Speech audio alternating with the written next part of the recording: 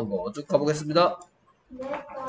Net Ninja. Nat the ninja. 뜻은 그렇죠. 그래서 이름을 먼저 얘기하고 그 다음에 뭐 하는 놈인지 얘기합니다. Net Ninja. 뭐였더라? Nat the ninja. 오케이. 그래서 This is not the bat. This is Nat the bat. 오케이. 이건 뭐 할 때 쓰는 표현이죠? 소개할 때. 그러니까 뜻이 뭐다?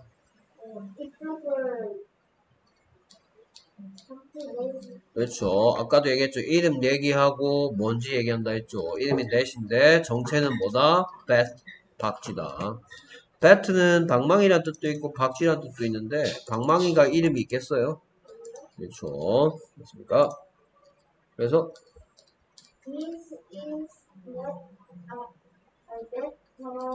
this is not the bat. This is Nat the bat. 오케이. 계속해서 Can you find can you find that? that? Can you find Nat? 뭔 뜻이죠? 너는 닌자를 찾았으니 그 닌자 아닌데요. 너는 넷을 찾았으니 오케이. Can you는 너는 뭐뭐 할 수 있니? 라고 물어볼 때 많이 쓰입니다. 뒤에는 무슨 시가 온다? 하다시. find 뜻이 뭐길래 하다시예요? 그래서 can you 뒤에 하다시가 오면 너는 뭐뭐 할 수 있는데 find가 왔으니까 찾을 수 있니? 됐습니까? 오케이. 뭐였더라? Can you find that? that? Can you find Nat? 오케이. 그럼 넌 뛸 수 있니? 달릴 수 있니? Can you run? 됐습니까? 오케이. Is in the box? No. Is he in the box? No. 오케이. 그래서 is를 보고 무슨 동사라 그랬더라, 선생님이?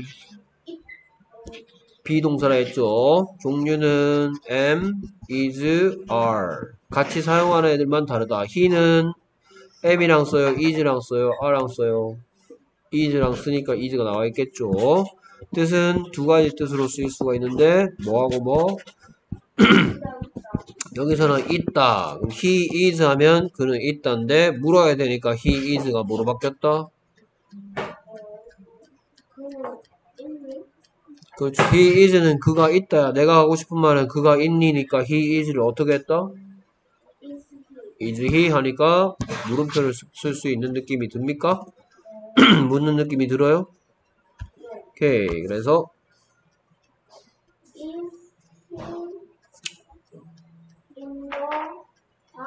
Is in the box? No. 상자 안에 없대요. 다음 표현. Is he in the bed? No. is in the bed는 무슨 뜻이에요?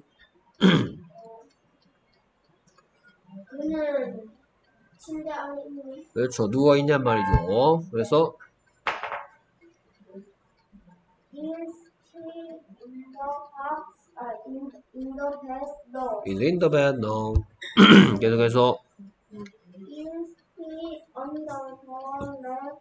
Is he under the red mat? 무슨 뜻이에요?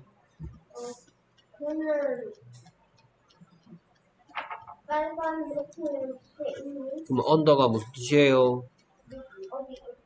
어, 너 밑에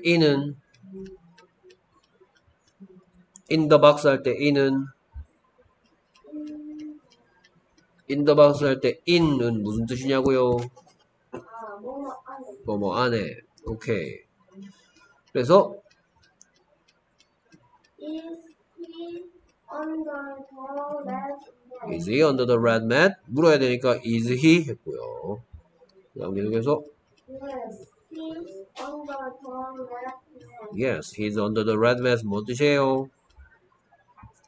그래, 그는 빨간 매트 밑에 있어. 오케이, he's는 뭐의 줄임말이에요? He is he is. he is는 그가 있다. under the red mat. 있습니까? 오케이. 그래서 뭐였더라? Yes, he's under the red mat. Yes, he is under the red mat. Yes. He's under the red mat. 오케이. It's not ninja. It's not ninja. 어, 얘가 바로 걔입니다. 이렇게 얘기하는 거죠.